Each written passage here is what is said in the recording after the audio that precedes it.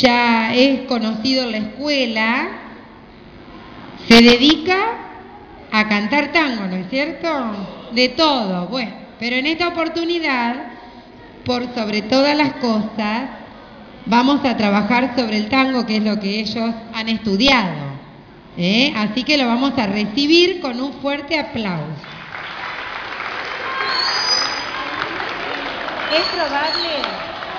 Sí, una palabra. Escúchame, hay grupos de quinto que van a venir. ¿Te hacemos el timbre para que ya estén? Eh, vamos a habilitar aquella puerta para que el grupo de quinto que iba a venir se siente atrás antes de empezar, porque si no va a ser un lío. Todos no, algunos creo que iban a venir. Y algún otro creo. Vamos a ver. Bueno, se pueden ir ubicando, chicas que están paradas allá. Siéntense como en el jardín, en canastita. Así todos ven.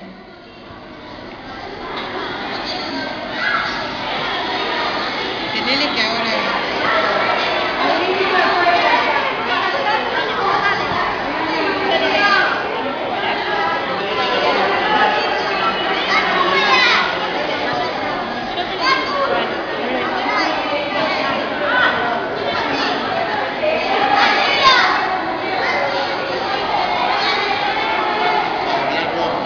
Y también después.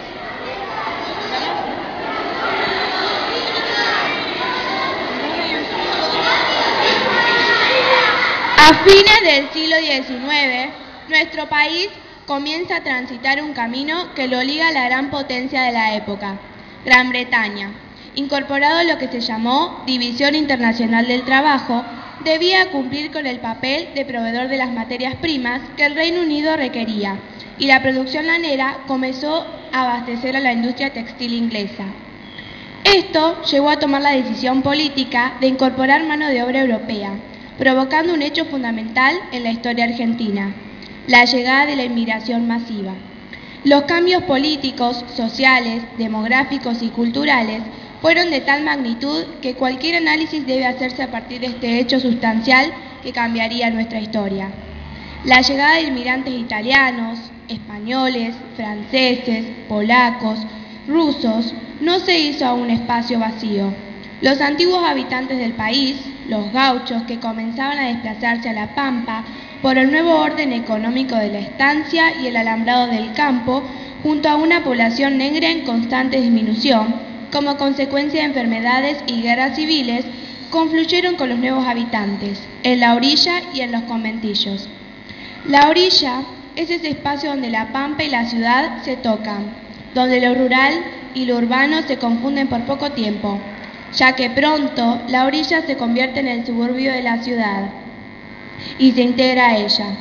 El conventillo es la solución precaria que se encontró para alojar a estas personas, las viejas residencias abandonadas por las familias más pudientes que comenzaron a mudarse al norte de la ciudad luego de la epidemia de fiebre amarilla de 1872. Fueron el refugio y el lugar de encuentro de los marginados que estaban y los carenciados que venían en busca de hacer la América.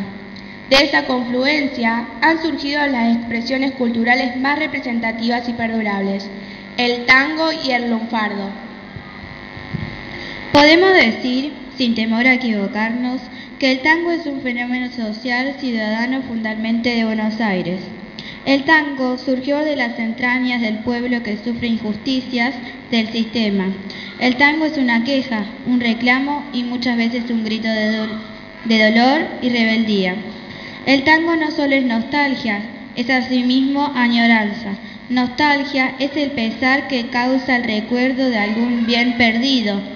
Añoranza es el pesar o soledad por ausencia de una persona o cosa.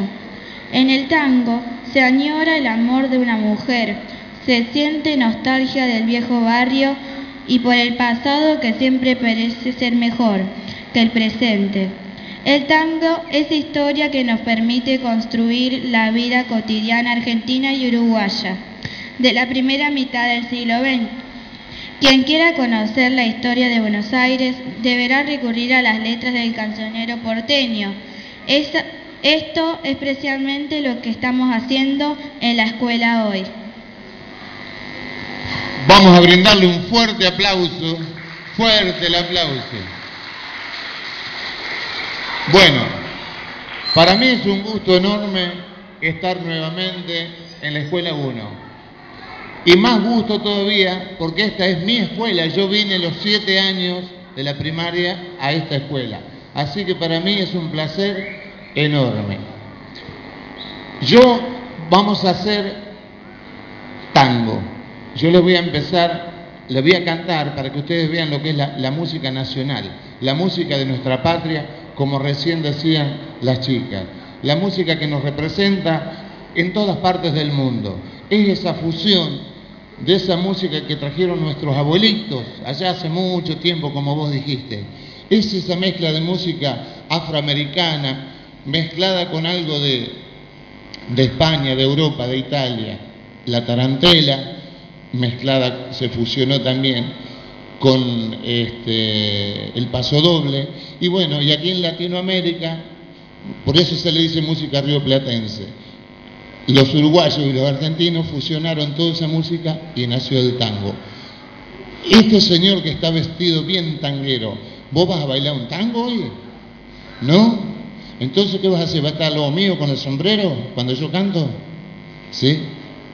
Bueno, andamos con un pequeño problemita de sonido, parece que se quemó un parlante, pero bueno, ¿se escucha más o menos? Bueno, yo voy a arrancar con un tanguito, luego voy a hacer tres o cuatro tangos. Después yo le voy a hacer lo que es la música también de nuestra patria, la música del recuerdo. Y si a ustedes les gusta bailar alguna cumbia, ¿les gusta bailar cumbia? ¿Y algún cuarteto? Bueno, después terminamos como en todas las escuelas, bailando cumbia y cuarteto. Bueno, yo voy a arrancar. A.